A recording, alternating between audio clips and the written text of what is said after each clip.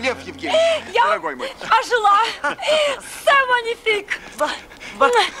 Арвар. И не вздумайте обойтись без рифлевки и шаберов. Это самое главное. Дорогая моя, Он одержимый совершенно. в этом его обаяние. Нижайший поклон. Сава, Сава, Нижайший. Сава, Сава, Сава, Левушка. Высокие, высокие отношения.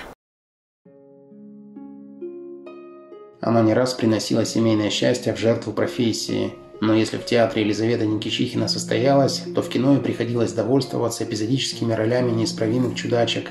Карьера, на алтарь которой была положена целая жизнь, состоялась совсем не так, как мечталась актрисе. Елизавета Сергеевна появилась на свет в Москве в мае 1941 года. Почти сразу после окончания Великой Отечественной войны ее родители вместе со старшими сыновьями уехали восстанавливать разрушенные города Германии, а дочка осталась на родине на попечении бабушки. Она остро ощущала недостаток родительского внимания и заботы. Девочка росла мечтательной и ранимой, ей очень хотелось быть актрисой, но однажды высказанное желание натолкнулось на ярый протест со стороны родственников, считавших лицедейство чем-то неприличным. В пику семье Лиза после восьмого класса средней школы поступила в студию при драмтеатре имени Станиславского. Как студентке ей предоставили скромную стипендию и место в общежитии, поэтому домой она больше не вернулась. В Московский драматический театр девушка попала сперва как артистка массовых сцен. Нарабатывая опыт в массовке, она заочно окончила ГИТИС. Полученное образование благотворно сказалось на профессиональном росте Никищихиной. Ее приняли во второй состав коллектива, где ее коллегами стали Владимир Коренев, Евгений Урбанский и Майя Минглет. Постепенно актриса переместилась в основную труппу. Особенно ей удавались острохарактерные либо трагические героини. Главными своими достижениями на театральных подмостках Елизавета считала спектакль «Антигона» и Васа Железнова. В обеих постановках она исполняла ведущие роли, вкладывая в образы всю энергию и душевные силы. Зрительский отклик на игру актрисы был феноменальным. Билеты в театральных кассах раскупались молниеносно. Фильмы. В кинематографе путь Елизаветы Сергеевны оказался гораздо менее ярким, но куда более изматывающим. В начале 60-х она снялась в эпизодах нескольких фильмов, таких как «Совершенно серьезная» и «Чудак-человек». В титрах начинающую артистку указывать не спешили. Ирочка, а письма пишут вам? Нет, Максим Данилович. Зачем же мне? Ведь эти письма вам пишут. Интересно, пишут мне, а читаете их вы. Так заведено, товарищ Межа. Это же ваш личный секретарь, второй, так сказать, я. Никогда не думал, что у меня такое симпатичное второе я. Благодарю. В 1966-м Александр Алов и Владимир Наумов экранизировали сатирический рассказ Достоевского «Скверный анекдот». Никищихину утвердили на развернутую роль невесты мелкого чиновника Порфирия Псилдонимова. Господа, уж не помешал ли я вашим удовольствием? Э, Сейчас начнем, а пока э, прохлаждаемся.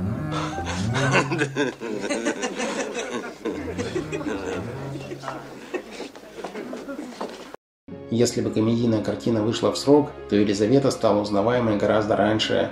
Однако лента два десятилетия пролежала на полке и была показана только в 1987 Так получилось, что режиссеры видели актрису преимущественно в одном амплуа. Ей предлагали второстепенные гротескные роли добрых и немного нелепых женщин. Но даже к этим однотипным предложениям Елизавета Сергеевна относилась бережно.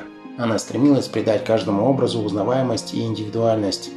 Это ей превосходно удавалось. Например, такой яркой и запоминающейся получилась ее Нина в мелодраме Сергея Микаэляна «Расскажи мне о себе». Ты знаешь, что такое чеханбили? Ой, Ктюрка, это такая вкуснотища. Я обязательно еще поем, когда поеду. Ой, Нинка, и о чем ты только думаешь? У тебя же дочка растет. Ну и что, да разве в этом дело? Война-то вон давно кончилась, а мы все никак не разогнемся. Вот ты, фронтовичка, орден имеешь. А что ты знаешь? Слышь, закуток с бабкой, да санчасть на фабрике. Нет. А по мне так лучше три дня не евший сидеть. А потом сразу чиханом били, туфлей нет и плевать. С большой теплотой и самоотдачей Никичихина снова и снова возвращалась к детским кинокартинам. В 1976 в ленте Валентина Горлова «Все дело в брате» она сыграла учительницу Елизавету Михайловну. Психологи проводили опрос. И все 36 человек в классе, как один написали, что главное в человеке – это сила воли. И что лучший человек в нашей школе – Фрол. Прямо юный Наполеон. Чуть позже были управляющая детского приюта Фрекин Хёк в Расмусе Бродяге и мама Вовика во фраке для шалопая. Дети, вглядитесь, пожалуйста, в содержимое ваших блюд. Это не просто еда, не просто каша. Это маленькая толика тех благ, которые в ответ на ваше усердие наша высоконравственная городская община дарует вам, сиротам. В 1980-м артистка появилась в небольшой роли безымянной пассажирки в комедии Виктора Крючкова «Гражданин Лёшка». А спустя два года состоялось едва ли не самое известное ее появление в эпизоде блистательной кинокомедии Михаила Казакова «Покровские ворота». Устами Никищихина литератор Нина Орлович произнесла восторженную фразу в высоких отношениях. Народной цитатой стали не только слова, но и неподражаемая интонация актрисы. И что он, хорош? Э, со своим предшественником. Естественно, он его очень любит. Хоботова нельзя не любить, прекрасное большое дитя. А, а, а как Лев Евгеньевич относится к Саве Игнатьичу? Бесспорно отдает ему должное. Высокие. Высокие отношения. Среди проектов 80-х годов, где Елизавета Сергеевна принимала участие, были драмы музыкальные комедии, фильмы для юношества и экранизации русской классики. Она мелькала в «Чародеях» Константина Бромберга, в «Мертвых душах» Михаила Швейцера. Купит каналье повар, что выучился у француза, кота, обдерет, да и несет за стол вместо зайца. Какие-то неприятности, говоришь? А что ж, душенька, так у них делается. Я не виноват. Так у них у всех делается. Ты всегда этакое за столом скажешь. Также зрители наблюдали ее игру в драматических картинах «Виктория» и «В обору брусника». Грех тебе, Саня, бобылем маяться. Одной рукой узла не завяжешь.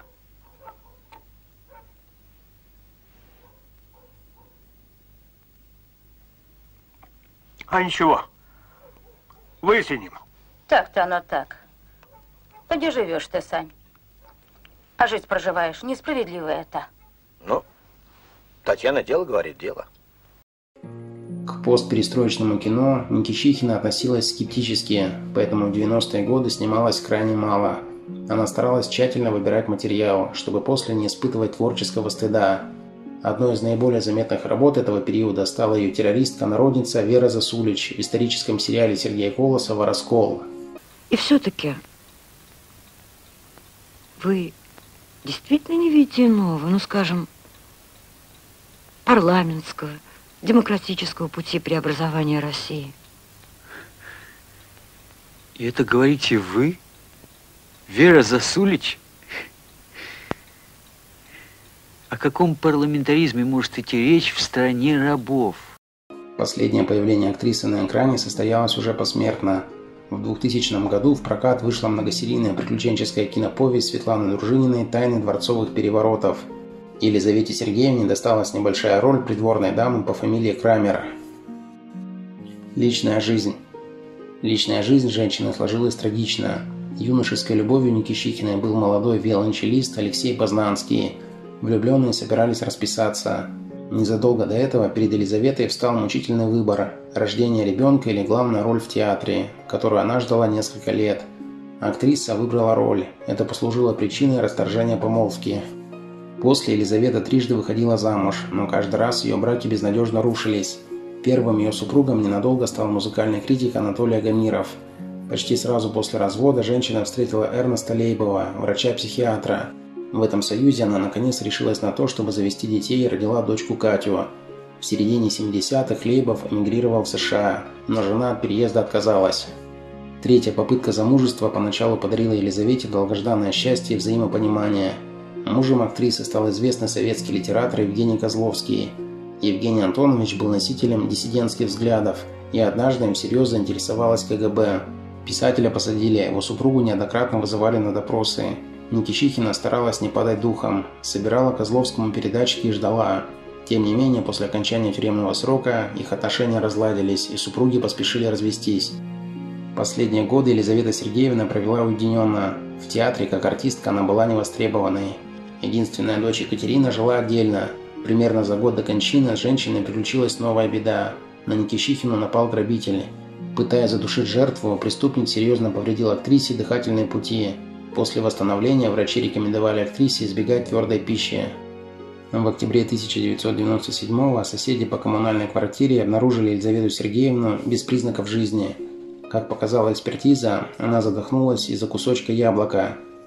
Заслуженную артистку РСФСР похоронили на Востряковском кладбище столицы. Друзья, ставьте лайк и подписывайтесь на наш канал. Впереди много интересного.